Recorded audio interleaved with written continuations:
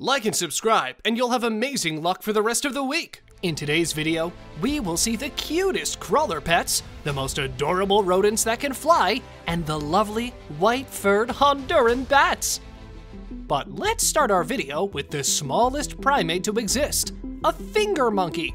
Yes, this kind of monkey is called finger monkey, as they're only the size of a finger.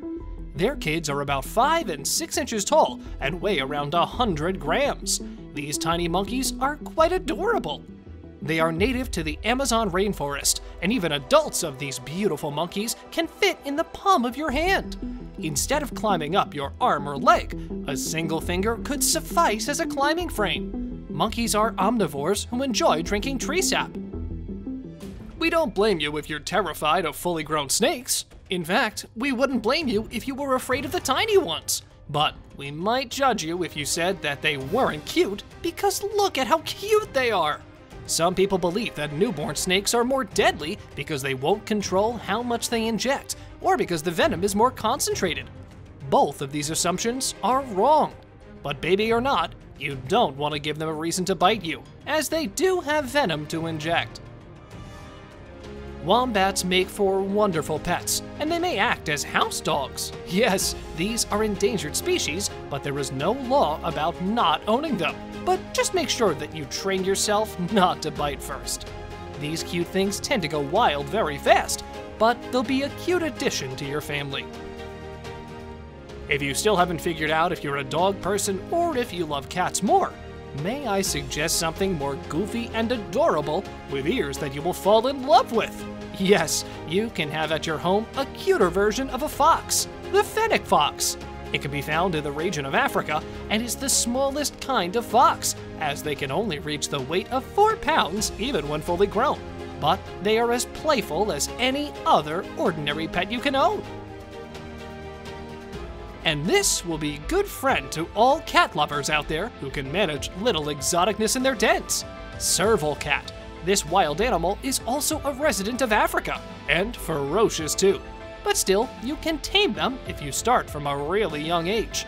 And if you consider having one, make sure that you have enough space as they love to run and play. Box turtles can be a cute companion too, and looking after them can be easy as they carry their own homes with them. And they are not anywhere for a long time as they can live up to 50 years. They like to soak themselves in water to hydrate from time to time, but that doesn't mean that they can swim, as they're actually land turtles. So, other than having pointy teeth and claws, they can make very adorable pets. The rodents have the reputation of being the cutest household pets, but on a more exotic spectrum, a chinchilla can also make a good addition to your family. The chinchilla of South America can form a strong attachment with its caretaker, but it is also one of the more destructive rodents. This isn't to suggest they're dangerous, they just don't want to be cuddled. At least, not quite as much as they love to run around and play. They're highly active and easily bored, so you'll need more than just a hamster wheel to keep these little guys occupied. If you ever wondered about having a cute pet that is not a bird but can fly, then a sugar glider is the one for you. Sugar gliders are the next best thing to squirrels, and many people think they're a lot cuter. Despite the fact that they appear to be identical, sugar gliders are marsupials like kangaroos, and the female's glider doubles as a pouch where she raises her young until they're old enough to fly, or, well, glide away on their own. If you're wondering where they got their name from, it's because they love to eat almost anything sweet, especially fresh fruit and vegetables. Kinkajous are little golden brown honey bears native to rainforests that have become more popular as pets. Individuals who are well known as pets include Paris Hilton, who is rumored to be the owner of a kinkajou and a sugar glider, but only the wealthy and powerful. Famous people aren't the only ones that seek fame. These creatures are adorable. Choosing to care for a kinkajou is not a decision to be taken lightly, as these nocturnal animals have a tendency to get into things and can be rather messy. Crested geckos make ideal pets for children since they're easy to care for. Despite their preferred diet of cricket and mealworms, the crested gecko has a pretty goofy smile and tiny hands. Just look at them, they're so tiny in the eyes as well. Well, we'll leave that up to you to decide, but one thing's for sure, the crested gecko is one of the cutest reptiles you can own. They are low maintenance to care for, and funny personalities have made them extremely popular as pets. The adorable capuchin monkey is a primate that frequently appears in films and television shows. It's well known for its small size and for its mischievous, fun attitude. Jack Sparrow's monkey comes to mind, as well as Pirates of the Caribbean. They are territorial and intelligent, and will live to be 40 years old. Unless you're able to instruct, you'll be in diapers for years. It's time for your monkey to go to the bathroom. As the name teacup refers to dog breeds that are smaller than typical, these are commonly tiny dog breeds. And they're adorable, but they're quite small and difficult to control. You can't just leave a teacup puppy alone, especially if you have little children in the house or a larger animal. Teacup puppies demand constant attention. Pay careful attention until they reach their massive mature size of 4 pounds.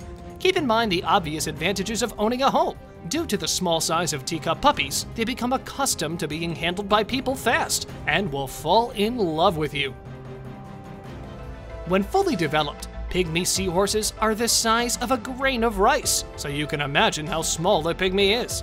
They're small enough to fit two or three of them on your pinky fingernail. These creatures are both little and experts of stealth mode, and it's really tough to locate them between the seagrasses and brightly colored fish corals that they live in. They have plump heads and short, slender bodies, a long tail, and a snout. These little guys are generally very active and joyful. Other than that, there is not much known about this species. Hermit crabs spend their entire lives in the safety of their shells, which aren't actually their own. Hermit crab infants, who go through numerous phases in their early existence before being laid in the water, are known as zoea. In about a month, hermit crab babies move into the second phase of their lives, known as glaucothoe, where they develop their legs and other body parts and are ready to venture out into the big, bad world and find themselves a shell. In the final stage, they are known as a juvenile crab and stay on the coast where they continue to grow. Keep this in mind if you're going to keep a hermit crab as a pet. The hazel dormouse has big, beautiful eyes that take up half of its face. Oh, this tiny, cute rodent is bright gold on the back and pale creamy on the underside.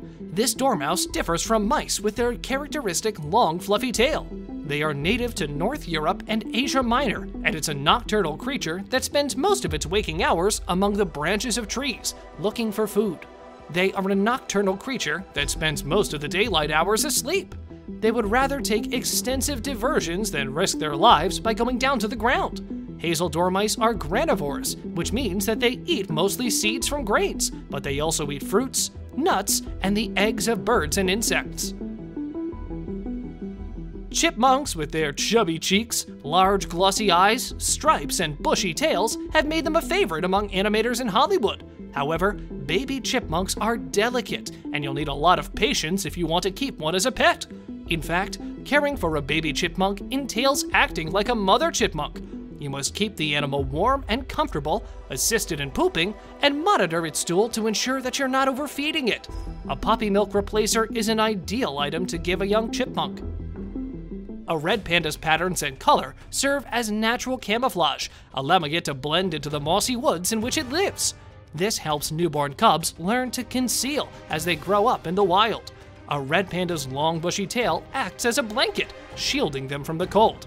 Wait until you see a newborn red panda if you think huge pandas are wonderful for cuddling. And now, let us move on to our subscriber pick of the day.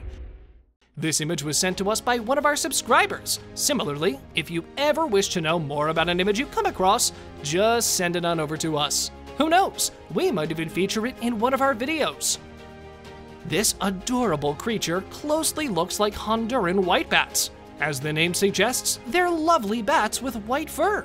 Their nose is formed like a leaf, and it grows up and away from their face.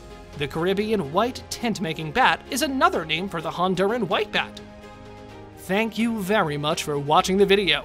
Do like and share it with your friends. Subscribe to the channel and hit the bell icon to not miss any of the upcoming amazing videos. Thank you once again.